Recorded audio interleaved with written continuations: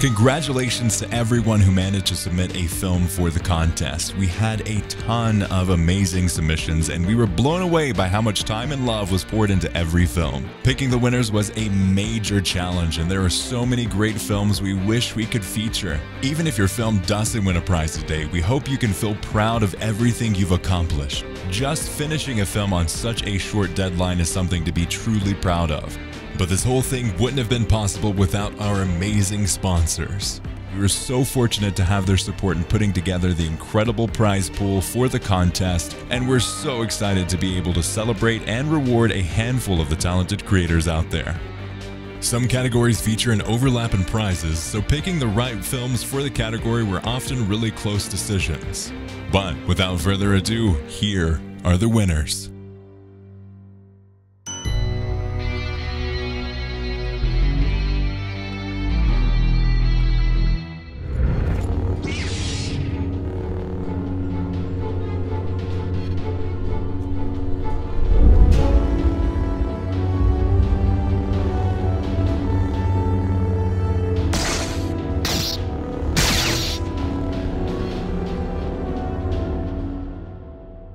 We had a handful of shorts with great choreography, but this was the standout for us.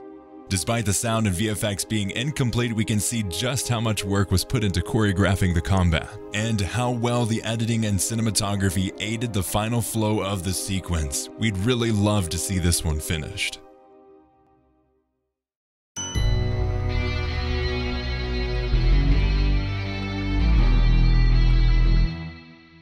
Something 誰かを守るためだ。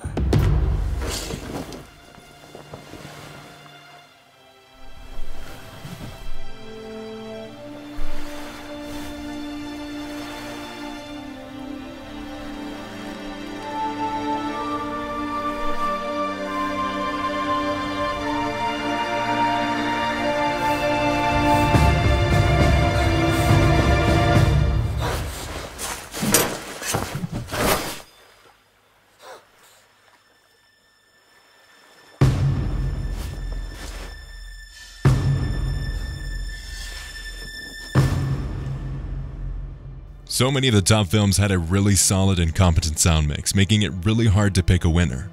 But one thing that really stood out to us about this film was the music. It was beautifully composed and carried a lot of emotional resonance for us. We also appreciated the fact that a lot of, if not all of the elements, sounded original rather than sourcing sounds from Battlefront or Fallen Order. Overall, the sound mix was well balanced, high quality, and clean, resulting in a pleasant listening experience.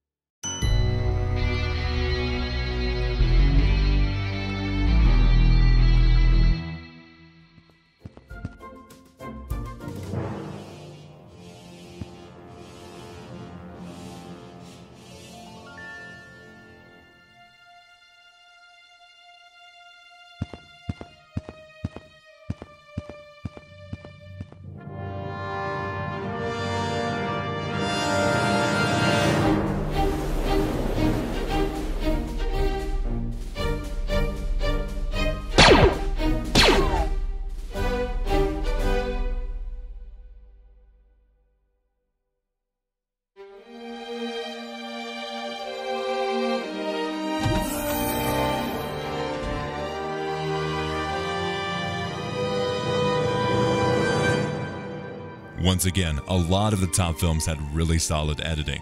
But what stood out for us about Trooper was the fact that they were able to tell a fully self-contained story in only a minute and a half without anything feeling rushed. It had a fun, snappy pace and kept us engaged the whole way through.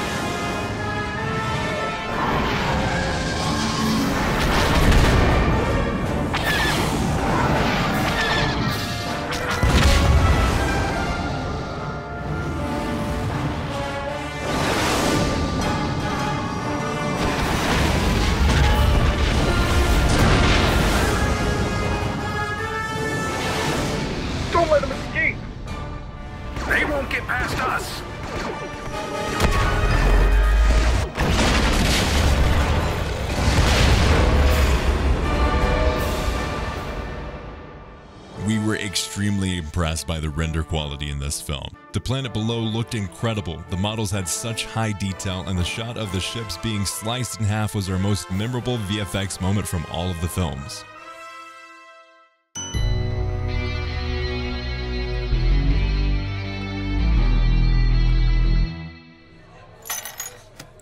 Fella in the back said it's on him.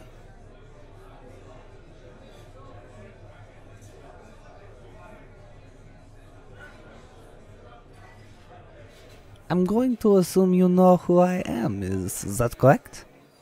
I know who you are. As do I know of you, Mr. What was your name?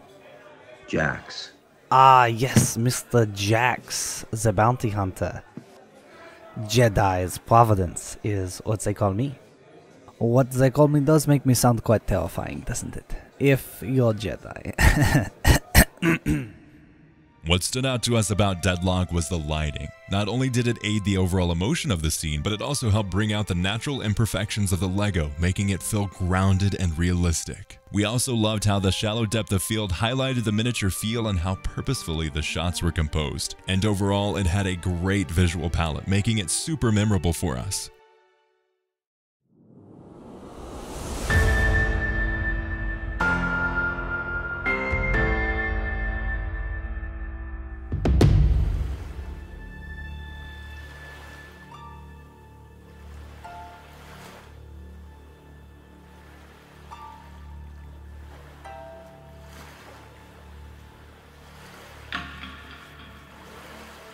自分の姿をよく見てみろ。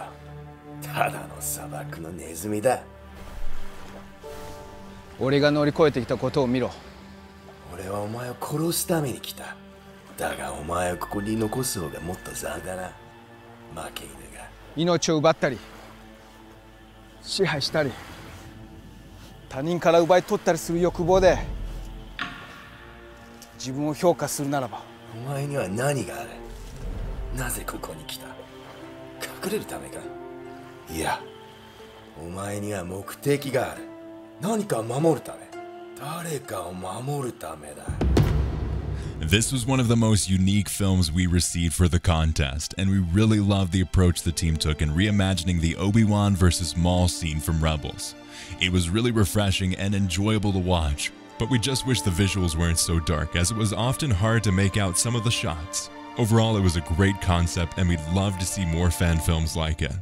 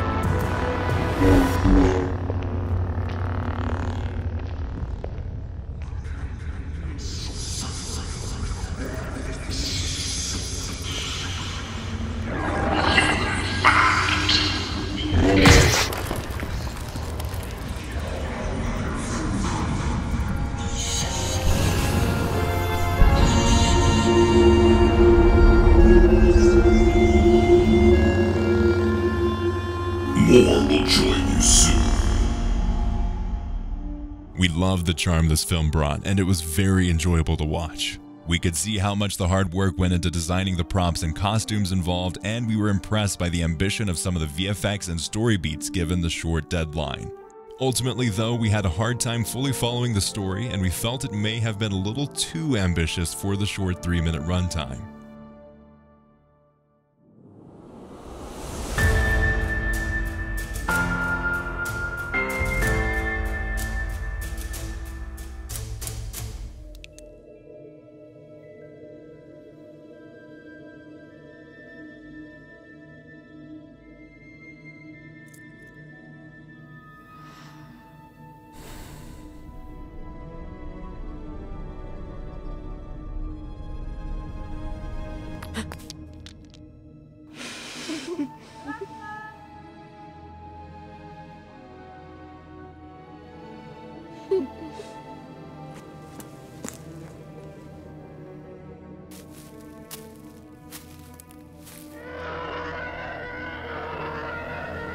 The war for the Republic is over. The war is returned to the Jedi Temple on Coruscant. Fan. Master, is that you?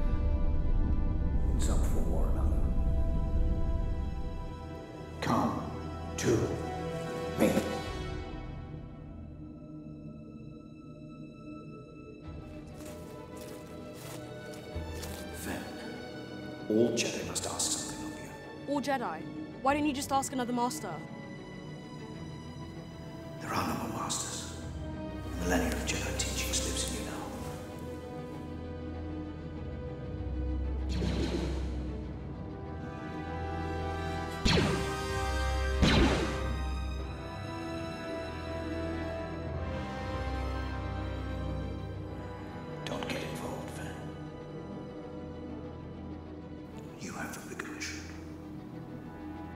Find the child.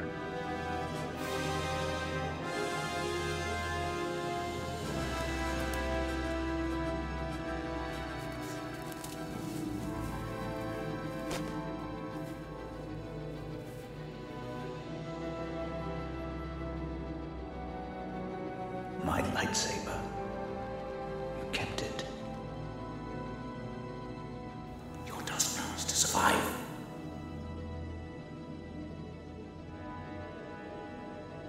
To defend and protect. You taught me that.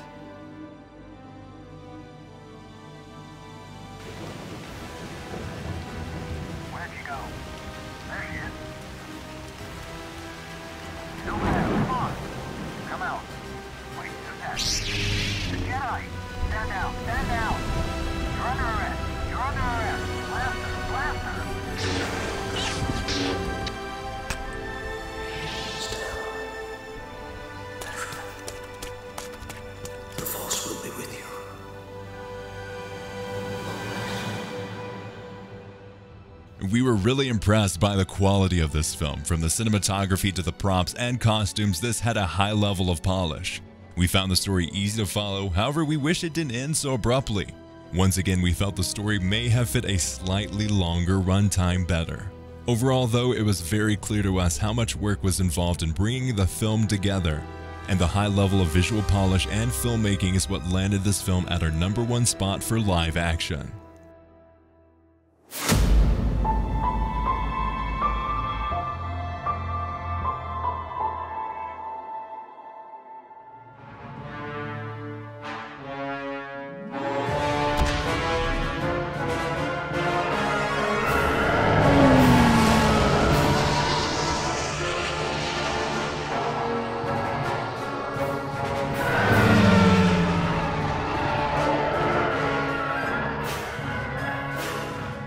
Lancer Station, this is VIP Passenger Shuttle RO 0925.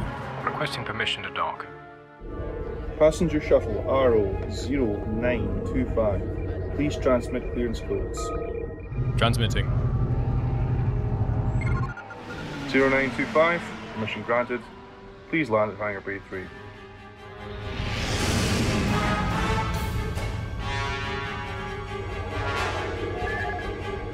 Unidentified Corvette. Please transmit transponder codes. Unidentified Corvette. You are approaching a restricted flight path. Transmit transponder codes. Once again, we were just blown away by some of the visuals in this film. Some of the shots looked like they could have been done by ILM. However, there were unfortunately one or two shots that brought the quality down for us. We appreciate the narrative elements weaved throughout, making it more than just a space battle, though we all agreed that the visual and technical side of it was where the film shined the most.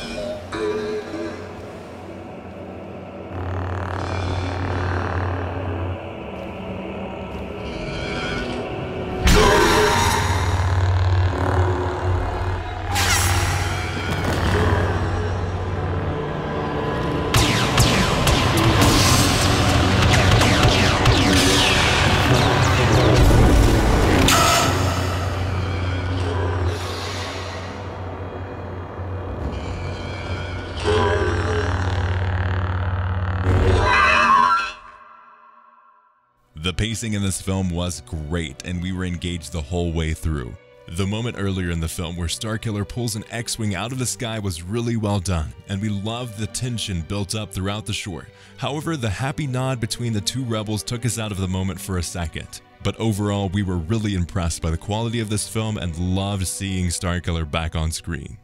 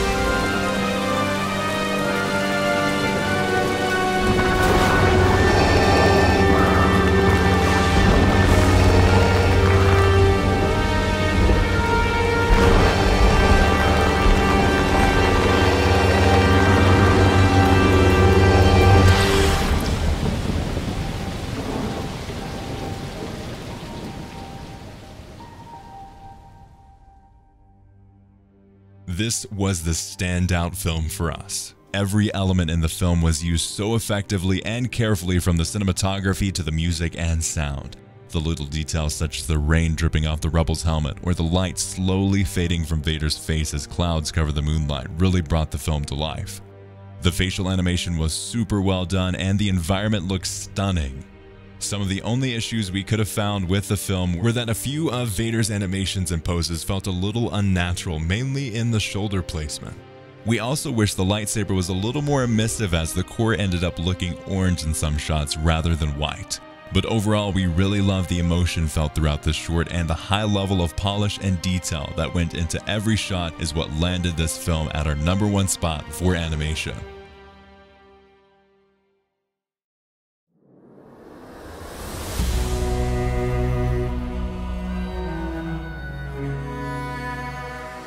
And finally, for our Audience Choice Award, we once again have Fallen Angel taking the number one spot, followed closely by Memory and Against All Odds for second and third. All the films are available to watch in full on cinematiccaptures.com, and we'd love to see the community come together and support every filmmaker that entered. We hope this competition has given some of you a good starting point to begin learning and developing your skills, and we hope you will continue to put in the same passion and dedication going forwards. A big thank you to everyone involved in making this competition possible, and a huge congratulations again to everyone who submitted a film. We really loved watching all of them.